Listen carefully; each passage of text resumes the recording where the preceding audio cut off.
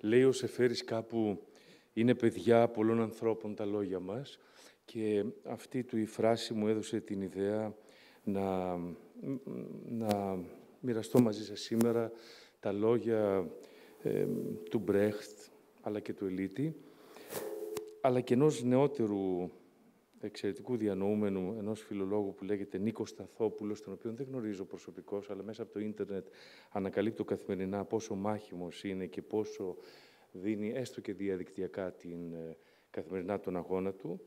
Ε, να μοιραστώ μαζί σας λοιπόν αυτές τις σκέψεις του Μπρέχτ και του Ελίτη, εκμεταλλευόμενος την ευκαιρία αυτή της συνάντησής μας σήμερα, ίσως για να δούμε από κοινού ε, το πόσο τραγικά επίκαιρες είναι λες και ο κόσμος δεν έχει αλλάξει ποτέ, παρόλο που από ό,τι φαίνεται αλλάζει λίγο-λίγο, αλλά ακόμα και αν δεν αλλάζει, στο βαθμό που εμείς μπορούμε και οφείλουμε, είναι καλό να δώσουμε τον καλύτερο μας σε αυτό και να τον αλλάξουμε. Είναι χαρά και τιμή μου να με συμπεριλαμβάνει λοιπόν στο Ευρωψηφοδέλτιό της η ζωή και να μου δίνεται έτσι η ευκαιρία να συμπλέψω κι εγώ με την πλεύση ελευθερίας στον αγώνα της ενάντια στους κατακτητές της χώρας μας, ενάντια σε όλους αυτούς που καταπατούν τα δικαιώματα των ανθρώπων, ενάντια σε όλους αυτούς που ξεπουλούν και παραδίδουν τόσο ανενδίαστα τη χώρα μας στην Ελλάδα. Αποδέχτηκα την πρόταση της ζωής και είπα ναι στη ζωή, γιατί ως άνθρωπος, έτσι κι αλλιώς, καταφάσκω στη ζωή. Στη ζωή και στο φως. Και στο φως, όπως λέει ο Μπρέχτ, στο φως φτάνουν εκείνοι που μπορείς να τους συγκινήσεις, εκείνοι που μπορείς να τους αλλάξεις. Επιλέγω λοιπόν τη φωτεινή πλευρά της ζωής και στον καιρό μας φαίνεται πως, όπως λέει ο Νίκος Σταθόπουλος, αυτός ο εξαιρετικός φιλόλογος, ότι η μόνη φωτεινή πλευρά που σήμερα φαίνεται να έχει κύρος ως ιδέα και νόημα, είναι η καθολική σύγκρουση με τον παρόντα εωσφορικό κόσμο της αδικίας, της βίας, της μοναξιάς, της κατάπτωσης, του φωταγωγημένου μηδενισμού. Λέω ναι στη ζωή, γιατί με τη ζωή μπορώ να λέω τη χώρα μου και πάλι πατρίδα μου, χωρίς συμπλέγματα και ενοχές, χωρίς να κινδυνεύω να χαρακτηριστώ εθνικιστής και χωρίς βεβαίως, βεβαίως, αυτό να σημαίνει ότι απαξιώνω την πάλη των τάξεων. Συμμετέχω σε αυτόν τον αγώνα διαισθανόμενος ότι, όπως λέει ο Νίκος Σταθόπουλος, πρέπει να διασώσουμε τον ρίζοσπαστισμό, την ιστορική αλήθεια και γνησιότητα των κοινωνικών οραμάτων, την απελευθερωτική συνείδηση της πατρίδας, πέρα από τους τελειωμένους, βαθιά συστημικούς ισμούς της ταξικής και φατριαστικής ιδιοτέλειας.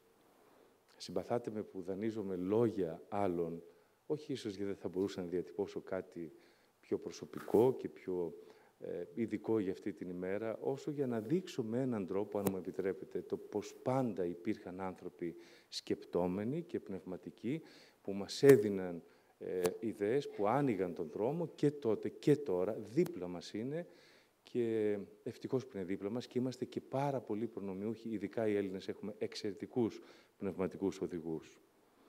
Βρισκόμαστε, αγαπητοί φίλοι, σε μια πολύ ιδιαίτερη ιστορική στιγμή για τη χώρα μας. Αν μείνουν τα πράγματα όπως είναι, λέει ο Μπρέχτ, είμαστε χαμένοι. Φίλος μας είναι η αλλαγή. Συνειδητοποιούμε λοιπόν ότι χρειάζονται πολλά, λέει, τον κόσμο για να αλλάξεις. Οργή και επιμονή. Γνώση και αγανάκτηση. Γρήγορη απόφαση στόχαση βαθιά, ψυχρή υπομονή και ατέλειωτη καρτερία, κατανόηση της λεπτομέρειας και κατανόηση του συνόλου. Μονάχα η πραγματικότητα μπορεί να μας μάθει πώς την πραγματικότητα να αλλάξουμε.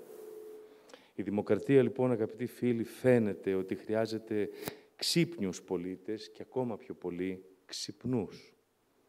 Έχοντας κατά νου λοιπόν ότι ο άνθρωπος, ο άνθρωπος ο ίδιος αυτός καθεαυτός, ο άνθρωπος είναι η μοίρα του ανθρώπου, κατά πως έλεγε ο Ηράκλειτος, νιώθουμε πως καλό θα ήταν λοιπόν σήμερα, στις μέρες μας, να πείσουμε τους συμπολίτες μας ότι πρέπει όλοι, το πρέπει απολύτως συνειδητά το θέτω στην πρόταση, με κεφαλαία παρακαλώ να ακουστεί, ότι όλοι μας λοιπόν πρέπει να δηλώσουμε ένα παρόν. Ότι πρέπει όλοι μας να ψηφίσουμε στις ευρωεκλογές και με την όποια επιλογή μας να πάρουμε την ευθύνη μας εν τέλει. Την ευθύνη για το ποια Ελλάδα θέλουμε ακριβώς.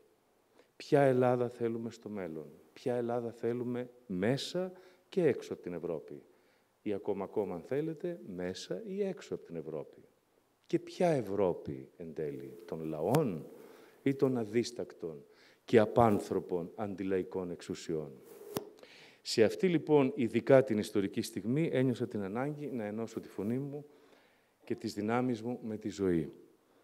Και με παρηγορεί αυτό που λέει και ο Ελίτης, και θα κλείσω με αυτό, ότι μέσα στη θλίψη, λέει, της απέραντης μετριότητας που μας πνίγει από παντού, λέει ο Ελίτης, παρηγοριέμαι ότι κάπου σε κάποιο καμαράκι κάποιοι πισματάριδες αγωνίζονται να εξουδετερώσουν τη φθορά.